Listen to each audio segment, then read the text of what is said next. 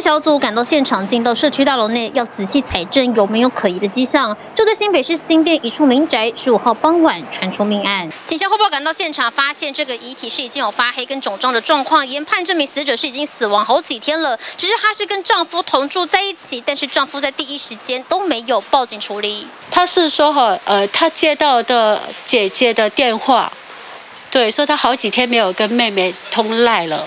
结果呢，他要他上去帮忙看一下发生了什么事。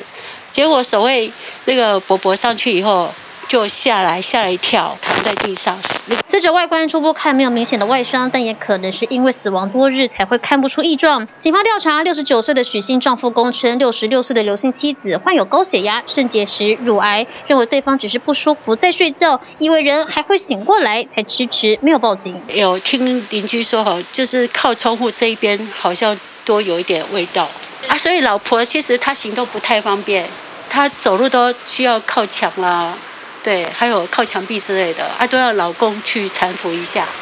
其实两个如果认真以邻居来看，我们两个来判判断，两个老就是老公还有还有太太的话，其实感情都还是可以的。十五号下午，死者丈夫打电话给死者妹妹，告知姐姐似乎是过世了，亲友才赶紧报案。但身边的枕边人躺了几天都没有动静，怎么会都没有察觉出了问题？对于这说法，警方持保留态度，也不排除有他杀可能。记者新吴成佳麦新闻报道。想看最完整的新闻内容，记得下载 TVBS 新闻网 APP。